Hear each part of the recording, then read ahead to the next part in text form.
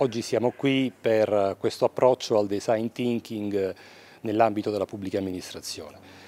Ho noto l'effetto e soprattutto l'efficacia di questo modello organizzativo che punta alla persona nel settore produttivo e quindi nel prodotto finale, di quelle che sono le caratteristiche dinamiche che vengono analizzate fino al raggiungimento dell'obiettivo e delle problematiche che vengono affrontate nel quotidiano da ogni produttore eh, e anche per quanto concerne l'innovazione. Di per sé lo stesso design thinking, pur se applicato all'innovazione, è già di per sé innovazione.